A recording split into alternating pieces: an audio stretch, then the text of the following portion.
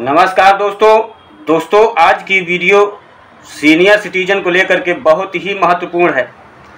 और senior citizen हो या जूनियर सिटीजन हो, सीनियर वही होते हैं जो पिता होते हैं, जूनियर वही होते हैं जो बेटे होते हैं। तो मतलब अगर पिता को कोई लाभ मिल रहा है तो बेटे के लिए भी तो बहुत सही है ना।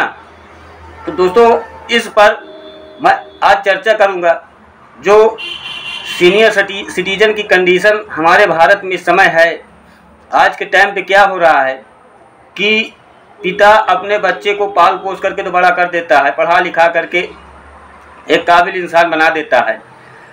और जब वो काबिल इंसान बन जाता है तो लोग बाग के चार निगाह में चढ़ जाता है और उसके बाद उसकी शादी हो जाती है। शादी ब्याह होने के बाद लड़का एक लड़के का बाप बनता है मतलब वो भी पिता हो जाता है। और जब वो पिता हो जाता है तो अपने लड़के से बहुत गहरा प्रेम और स्नेह करने लगता है।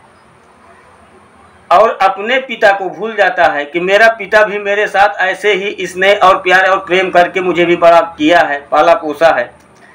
और जब तक उनके पिता की कमाई रहती है, संपत्ति रहती है, तब तक तो सब बढ़िया चलता रहता है, पापा पापा रहते हैं। और जब बहू आ गई है उसके बाद जैसे जैसे वृद्धावस्था आती जाती है तो उसमें क्या होता है कि लड़के का प्रेम जो है, वो पिता के लिए कम होता जा रहा है और वो बहू तो दूसरे घर से आई ही है। बहुत से कम ही ऐसे बहू और बेटे हैं जो वृद्धावस्था में अपने माता पिता की सेवा करते हैं, क्योंकि जो वृद्धा आश्रम बने हुए हैं, इसको देखते हुए ये महसूस हो रहा है कि यहाँ पे जो माता पिता हैं, कई एक लोगों से मालूम भी किया गया तो उनके लड़के हैं, लड़की हैं, मगर उनका कोई सेवा करने वाला लास्ट समय पे नहीं है। इसलिए उनको दो रोटी और एक कुर्ता, एक धोती। अगर माँ है तो दो रोटी, एक धोती। सिर्फ़ इतने लगता है और कहीं भी साइड में एक चार पाई में अगर लिटा दो तो पड़े पड़े रहते हैं। आपका घर देखते रहेंगे। आपकी सुरक्षा करते रहेंगे, मगर किसी को गंवारा नहीं है कि हम नहीं रखेंगे, वो कहता हम नहीं रखेंगे।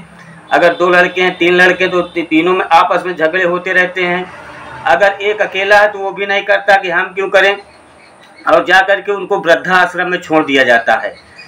अब वृद्धा आश्रम में इसलिए छोड़ दिया जाता है क्योंकि उनके पास किसी प्रकार की आय नहीं है। किसी प्रकार की इनकम नहीं है। अगर आय होती, इनकम होती तो उनका भी वर्चस्व होता। और वो भी अपने बल पे एक साइड बैठ करके बना खा सकते थे। क्यों ऐसा हो रहा है? क्योंकि उनके पास अगर आय नहीं है तो इस विषय पर सरकार को सोचना चाहिए।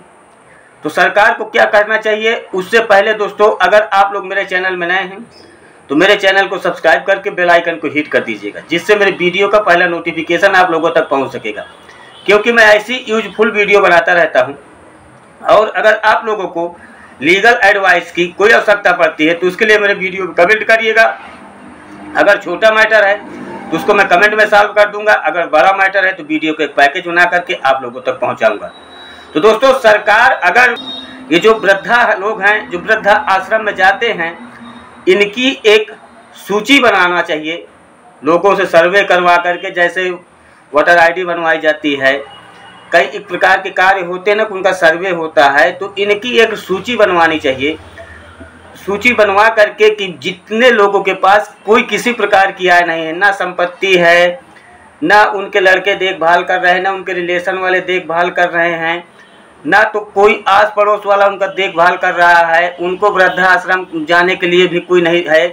वो ऐसे पड़े हैं, जो अगर कोई दो रोटी दे दिया तो खा लिए, नहीं दिए तो नहीं खाए पुल के नीचे पड़े हैं, रोड के पास पड़े हैं, दवा नहीं हो रही है, किसी प्रकार की उनको मतलब कोई सुविधा नहीं हो रही है, ऐसे लोगों को सरकार का एक सर्वे करवाना चाहिए। सर्वे करवा करके एक डिस्ट्रिक्ट बाई या तो ग्राम प्रधान के थ्रू भी हो सकता है। किसी भी मतलब कि सरकार जब ये सर्वे करवाने पे आएगी तो किसी भी प्रकार से सर्वे करवा लेगी, किस गाँव में कितने हैं और किस प्रकार के कैसे लोग हैं कि जो जिनके आगे पीछे कोई नहीं है, उनके लिए जब सर्वे हो जाए, कितने हैं, कैसे कंडीशन में उनको रखने के लिए, या तो हर एक गाँव बाई गाँव एक सुविधा होनी चाहिए उनके खाने, पीने की सब हर एक प्रकार से, और उनके खर्चा यापन के लिए।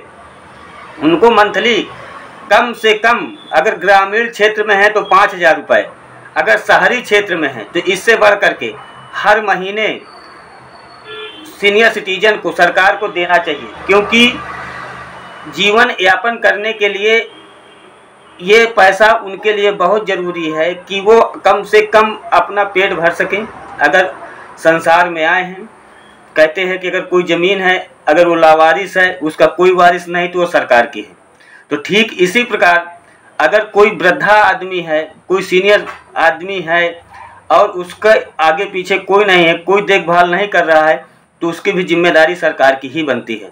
तो सरकार को ये चाहिए कि वो जितने सीनियर सिटीजन हैं, इनके भरण पोषण के लिए मंथली कम से कम पाँच हज़ार रुपये देने का एक विचार करना चाहिए और सर्वे करवा करके इनके जैसे जनधन खाते खुले हुए हैं, या उनका अकाउंट अलग से खुलवाया जाएगा, खुलवा करके किसी भी थ्रू उनको उन तक पैसा पहुंचाना चाहिए। क्योंकि वो भी भारत के एक नागरिक हैं। जब वोट होती है तो वो भी एक हिस्सा बनते हैं। और वो हिस्सा बनने के बाद फिर एक कूड़े के सरीखे पड़े रहते हैं। तो इस कंडीशन को देखते हुए मैं सरकार से ये आग्रह करता हूँ और प्रे करता हूँ कि इनके विषय में ज़रूर कुछ न कुछ सोचा जाए, ताकि ये लोग अपना सही से जीवन यापन कर सकें। तो इस विषय पे सरकार को सोचना बहुत ज़रूरी है। अगर ऐसा हो सके तो बहुत अच्छा होगा। जितने सीनियर सिटीजन हैं, उनके लिए बहुत अच्छा होगा। क्योंकि देश में जो सीनियर सिटीजनों के हालात हैं, उनको देखते हुए बहुत गंभीर और विचारणीय दशा है। तो दोस्तों, आशा करता हूँ कि वीडियो आप लोग बहुत अच्छी लगी होगी। अच्छी लगी हो तो कमेंट करिएगा शेयर करिएगा। धन्यवाद।